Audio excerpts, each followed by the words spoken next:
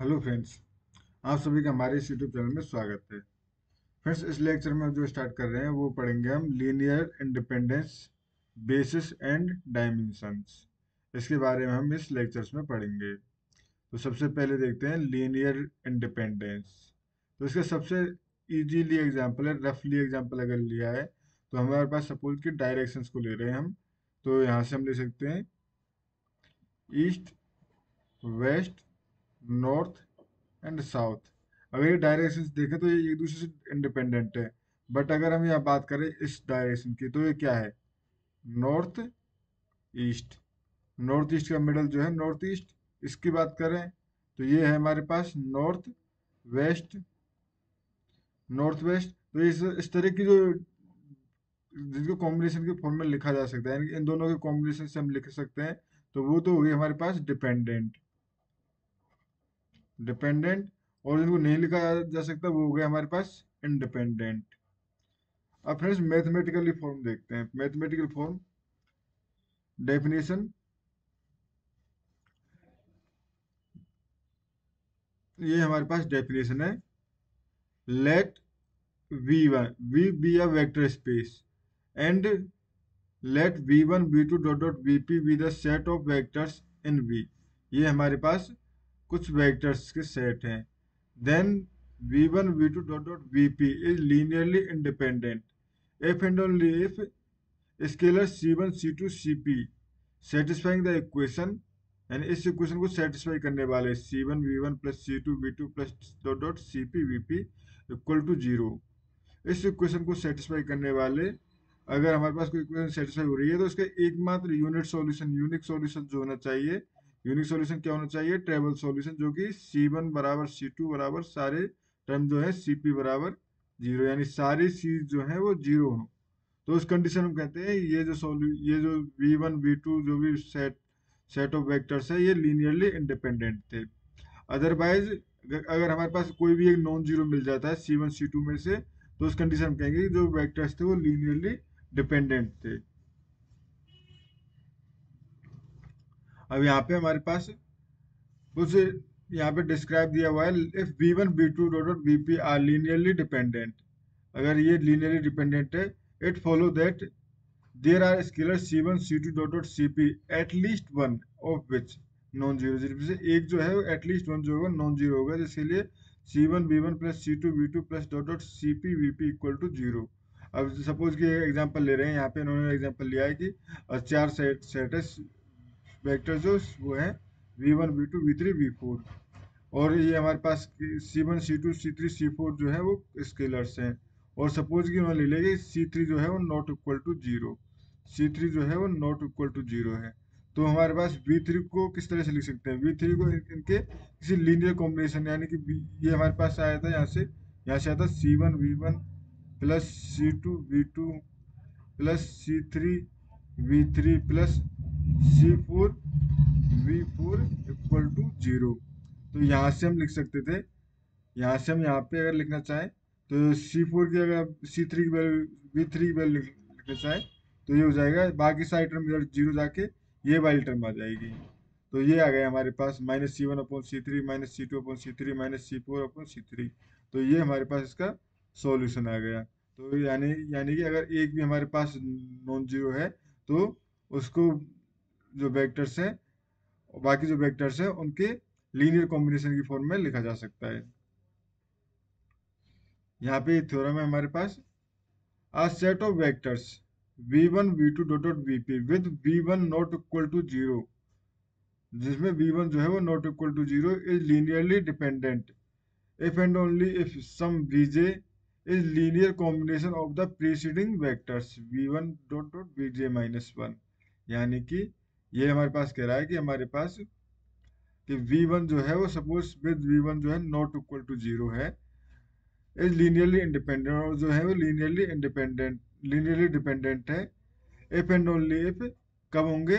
If some V J is linear combination of the preceding vectors यानी जो वीजे जो होगा, और बाकी जो वेक्टर्स होंगे, उनके लीनियर कॉम्बिनेशन के रूप में लिखा जा सके। तो जैसे एग्जांपल है ए वन हमारे पास ये है। ए टू ये है ए थ्री ये है। अब हमें शो करना है कि ये लीनियरली डिपेंडेंट है। तो ये शो करने के लिए बेसिकली हमें शो क्या करना होगा? कांस्टेंट लेके एल्फा अगर अल्फ़ा ले लें ये ले लें A A one plus B B one plus C sorry A two है A two plus C A three equal to zero ये पुट करना है। ये पुट करके हम जब इसको सॉल्व करेंगे तो हमारे पास ए वन बी वन और सी वन जो है इनमें से कोई ना कोई एक जो नॉन ज़ीरो मिल जाएगा, जिसके लिए ये टर्म सेटिस्फाई कर रही होगी। तो इसको आप सॉल्व भी कर सकते हो। सॉल्व करने के लिए सिंपली कुछ नहीं करना। ए की वैल्यू सिंपली यहाँ पे मल्टीप्लाई करोगे बी की वैल्यू यहाँ मल्टीप्लाई करोगे सी की, अंदर के हर टर्म से मल्टीप्लाई होगी और कुछ इक्वेशंस बनेंगी। इक्वेशंस को ज़ीरो के इक्वल पुट करेंगे तो ए बी और सी की वैल्यू हमारे पास निकल आएँगी। ये तो ये हो गया हमारे पास। और इन्होंने जो क्या है it is clear that A one and A two are linearly independent A one और ए टू जो है, वो लीनियरली इंडिपेंडेंट है। I A one can not be written as the scalar multiple of A two and vice versa जो A one और A two जो है, वो लीनियरली इंडिपेंडेंट है, ये आप चेक भी कर सकते हो। Since the two one entry of the A one is zero two one entry यानी टू वन क्या है? Two second row first column यानी zero the only way to get minus two in the two one entry is A three to multiply by minus two यानी कि हमारे पास minus इसमें हमारे पास अगर इनको लीनियर कॉम्बिनेशन ए वन और ए टू की लीनियर कॉम्बिनेशन की फॉर्म में लिखना चाहे तो सिंपली जो फ़र्स्ट ओनली वे कौन सा है तो इसमें हमें माइनस टू से मल्टीप्लाई करना होगा ए टू में। ये होगा ए टू से माइनस माइनस टू से मल्टीप्लाई करने पे। और यहाँ पे अगर देखें तो यहाँ पे इस तरह ये टर्म ज़ीरो है बट यहाँ माइनस वन तो यहाँ थ्री से मल्टीप्लाई करना होगा। तो यहाँ पे हमारे पास थ्री से मल्टीप्लाई करना होगा।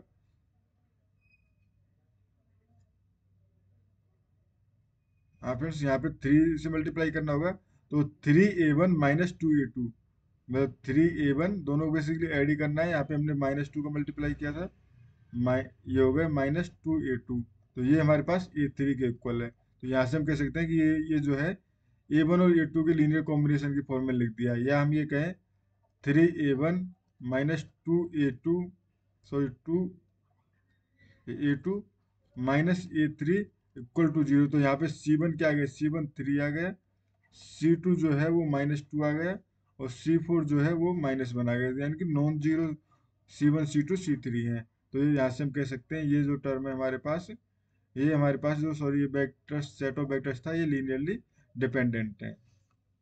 लीनियरली इंडिपेंडेंट के फ्रेंड्स हमने एग्जांपल प्रीवियस वीडियो में भी देखे थे। यहाँ पे हम बेसिस बेसिस क्या होता है, इसको हम सिंपली डेफिनेशन में एक बार देख लेते हैं। नेक्स्ट वीडियो में इसको और थ्योरम्स और इसके एग्ज़ाम्पल जो है, वो सॉल्व करेंगे। इसमें हम सिर्फ़ डेफिनेशन देख रहे हैं।